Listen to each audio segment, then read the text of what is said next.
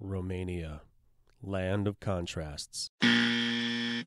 Romania, it has everything? Uh, Romania, there's lots of stuff here. Hmm? Yeah?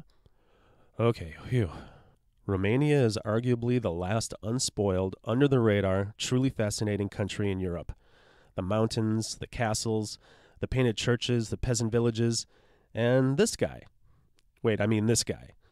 We'll get to that other guy in a minute. This is Vlad Dracula, 15th century prince of Wallachia, also known as Vlad Tepes. Tepes means impaler, and boy did he earn that nickname. In the seven cumulative years of his rule, he killed thousands, tens of thousands, and not just with impaling, though that was his favorite because it was the slowest, most agonizing way to kill a guy.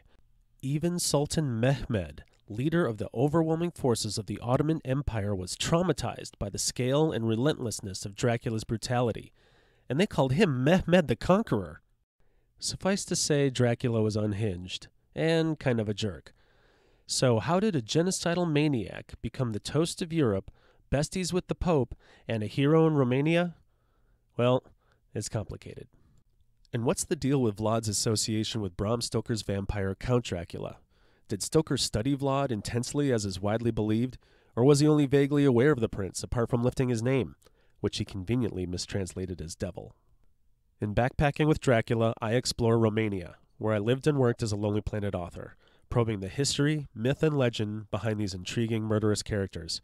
I also explore their legacies in modern Romania while visiting sites associated with both the prince and the count, including Vlad the Impaler's castle. Spoiler alert, it's not this place.